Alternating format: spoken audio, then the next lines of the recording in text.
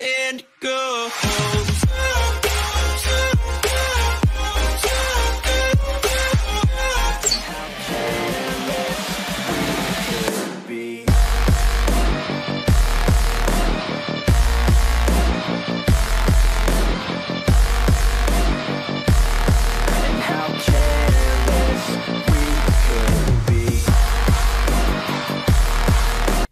Hey everybody, welcome back to another video and today I am gonna be showcasing the Paw Paw fruit. So basically this is the new fruit just been updated today. So guys, I am gonna be showing you guys the skills and the stuff that we can do about it. So guys, make sure to watch the whole video. So yeah, let's go. Alright guys, so the first move we got is the Z move which is the Nikyu burst. So yeah, uh, we are gonna be testing out in different NPCs and stuff. So yeah, watch the whole video and comment down below what do you think of this fruit. Alright, let's go.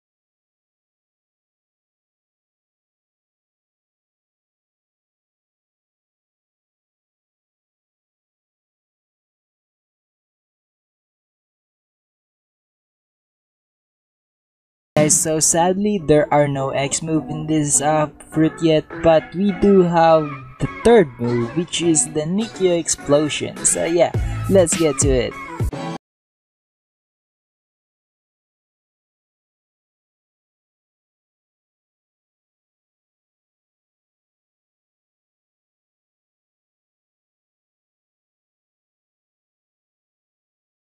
The next move is the Ursus Shock. So um, it looks like a special move to me, but it looks like this. It's pretty epic. Boom! Yeah, look at that, bro. That's a pretty good skill out there, and it is very very good combo when you're using your sword plus your gun. And they um, yeah, it's pretty good for melee, I think. So yeah, well, comment down below what do you think of this thing.